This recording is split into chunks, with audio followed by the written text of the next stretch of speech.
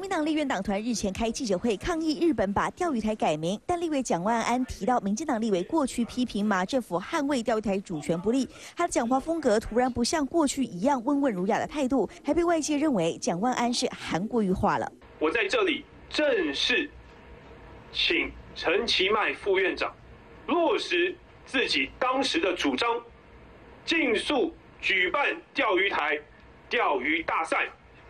我会第一个报名，但是我呛你不敢。我替他有点担心。